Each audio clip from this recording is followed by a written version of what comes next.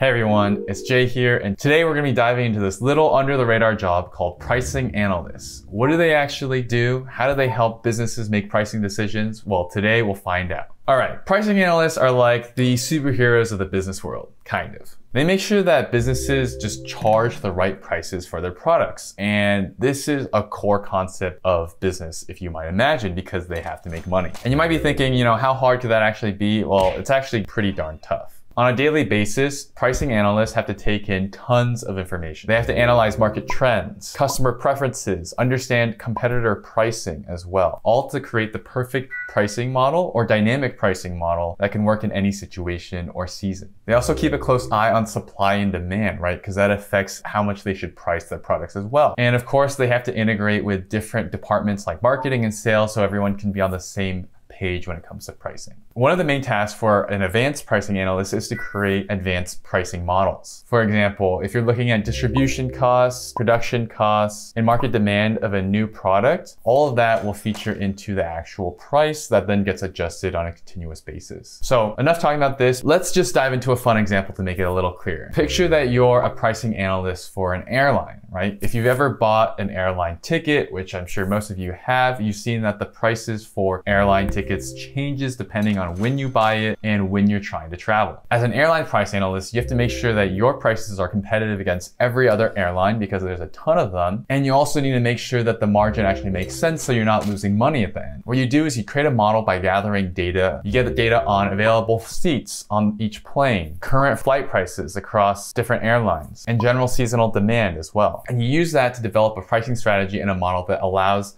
an airline to remain competitive for any point of time and have this dynamic pricing model that changes depending on when you buy it. And of course, pricing models for airlines are more discriminatory in terms of the fact that if you buy a flight a day before you're actually traveling, it's going to be way more expensive than if you're buying it, you know, two weeks or two months beforehand. It's also about trying to figure out ways to maximize profits for these companies. And that means offering discounts or working with a marketing department to offer sales. But in general, it's a delicate balance. And so the pricing analytics job is actually very, very important. Now, a lot of people get confused with pricing analysts and data analysts. And in my opinion, pricing analysts actually fall within the umbrella of data analysts. For example, if we take another scenario, like let's say you're a pricing analyst at a software company that just sells B2B software. So this could be Salesforce, this could be Microsoft, etc. While data analyst would probably focus more on general kind of longer term goals and user behavior, such as looking at customer churn analysis, looking at retention, understanding exactly how customers interact with the software at whole. Like if I'm using Microsoft Excel, how am I using it, or Google Docs, such like that. Pricing analysts focus a lot more on the actual price part of it. So they could be also looking at user retention, let's say, or customer retention on their products,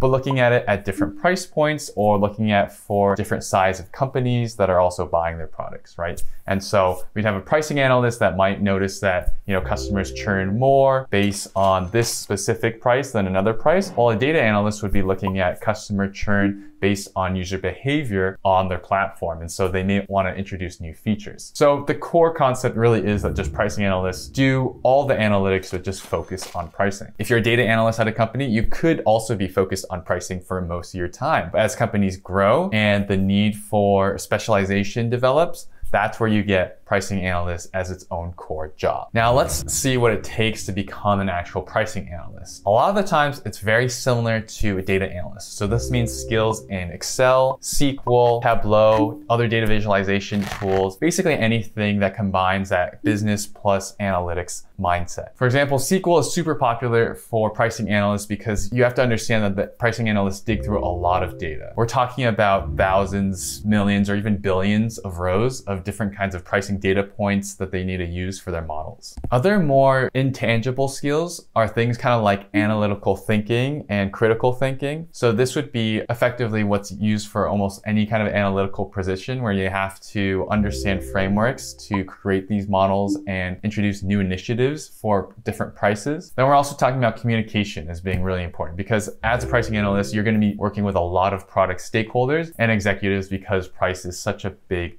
part of the job and of the business. So how do you become a pricing analyst? Well, if you are already in your career and you're looking to become a pricing analyst, then the easiest way would be to start working on data analytics types projects. So if you're a data analyst, it's pretty easy to transition over to pricing. But if you're not already an analyst, then it's worth maybe looking at education backgrounds that you could potentially use. So if you're starting out, and let's say you're in college, then just studying something like economics, math, business, you know, computer science, data science would all be helpful towards becoming a pricing analyst. And if you're looking to make a career transition, then getting a master's degree in data science or analytics is also super helpful as well. Additionally, just learning SQL and coding can also put you on that path. If you work, for example, in customer success, or maybe you're completely in a different field, such as you're a teacher, then just understanding the skills of SQL, data visualization is going to be a huge step forward towards having those qualifications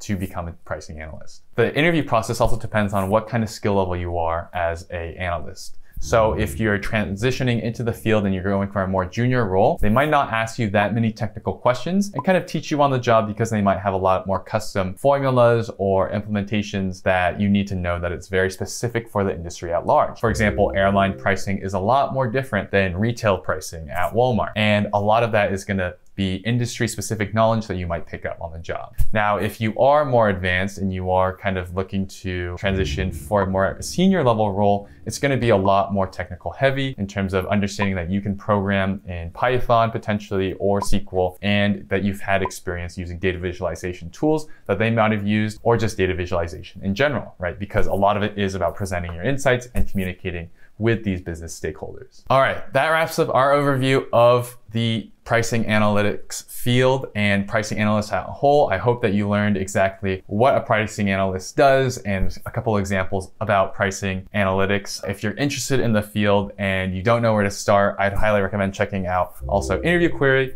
to learn a little bit about SQL, Python, and practice a different couple questions there.